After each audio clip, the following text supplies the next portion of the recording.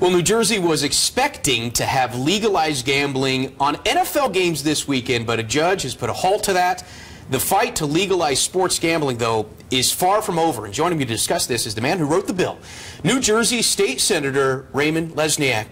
Senator, thanks for being on studio with us. Well, Appreciate it. nice, nice to be. I was looking forward to placing a bet, but uh, that was going to be my first question. Who are you going to be betting on tomorrow? But, uh, but where do we stand with this right now? What's the next step? Well, unfortunately, we stand with a judge that seems to adopt every single position that the NFL and the sports leagues take.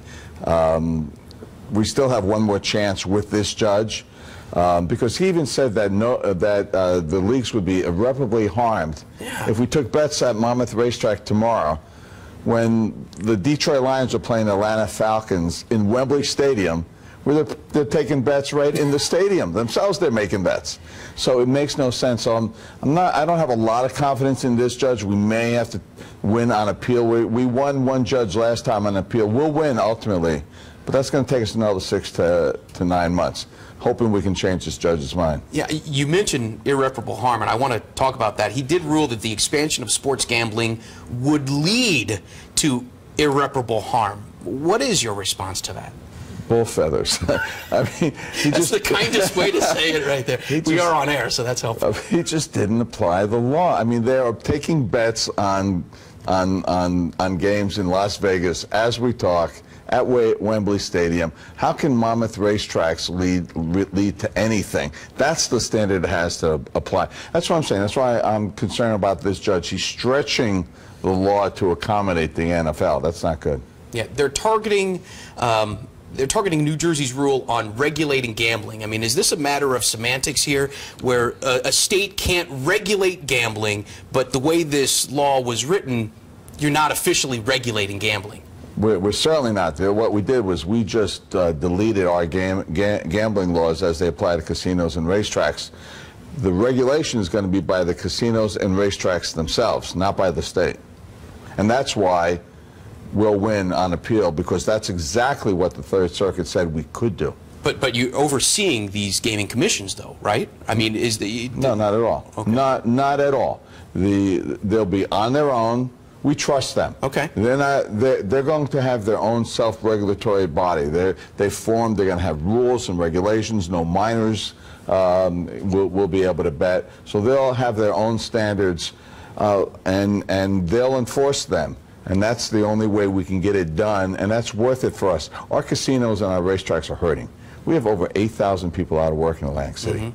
Meanwhile, Super Bowl week, long NFL weekends, NCAA tournament, you cannot get a room in Las Vegas.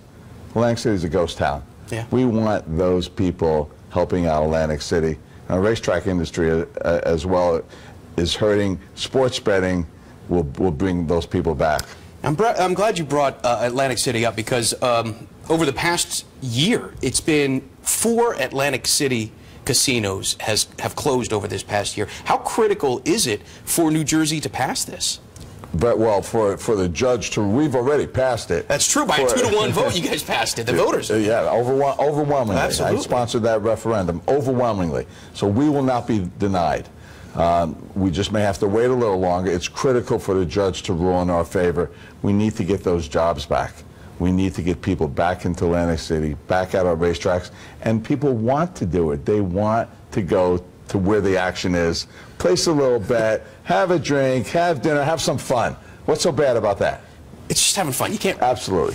don't have a problem with people having fun. Um, you know, we- we've been talking so much about the NFL, but I think the NBA is involved in this as well. And I want to take something from Adam Silver here. Exactly. He said that it's inevitable. This is Adam Silver, Yeah. the commissioner of the NBA. It is inevitable that if all of these states are broke, there will be legalized sports betting in more states than just Nevada, and we will ultimately participate. participate, yes. Participate in that. Is it kind of strange that he's part of this complaint? Well, the same thing. David Stern basically said the same thing. Sure. And the league s- slapped them around and got them to back off. So you know, uh, the end game, in my opinion, for the leagues is ultimately when we win, they'll they'll claim some kind of they'll make another claim, property rights. This is these are our property rights, and you can't. And then then they'll start talking turkey.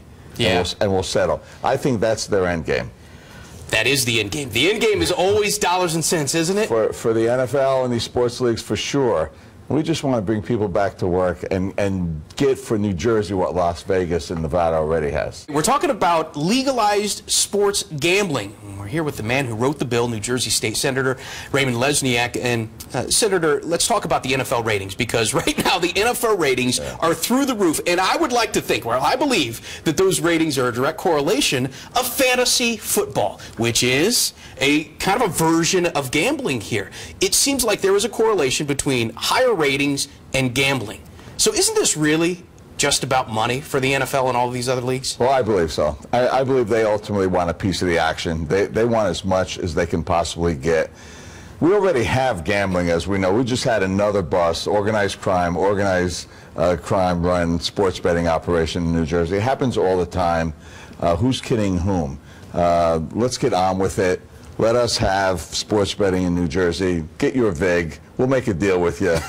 and let's move forward. Well, that's the thing. That's that was the next question here. Is there a common ground? I mean, is this just black and white? One side wins, the other side loses, or is there some sort of a way? Is this all about positioning by these leagues to try to make sure that they're going to get a higher percentage of what's coming on the backside? Well, they're certainly uh, hiding it very well, except for the NBA. The NBA is being realistic. They know that it's inevitable. They want to squeeze it just like they did fantasy football. They oppose fantasy football. So now they're, they've, they're, now that we've broken through with sports betting, they're going to fight. Ultimately, they'll, they'll cry uncle, and, and we'll cut a deal, and we'll have sports betting in New Jersey. So there will be a deal that could be cut then, huh? I believe so. Okay, all right. So what are the odds, since we are talking odds here, Finally, what are the odds that we will eventually see sports betting in New Jersey? Oh, eventually, uh, you know, absolute, even money, three to five. Okay, all right, we're going that high. Okay. Eventually, uh, within the last year, soon, you know, it's it's tough. Uh, Judge Shipp is, uh, is is is not ruling uh, in our favor. We hope we change our mind, but ultimately, when we get to the Court of Appeals, we'll win. So good chance, certainly sometime next year, hopefully sooner. So it could be six to nine months before we really get to this point once again? If we have to go to the Third Circuit Court of Appeals, yeah, unfortunately. All right. Okay. Senator Raymond Lesniak, thank you so much for all of your time. Really appreciate it, and keep up the good work. Well, I'll keep trying, that's for sure. I won't quit. right. I believe you.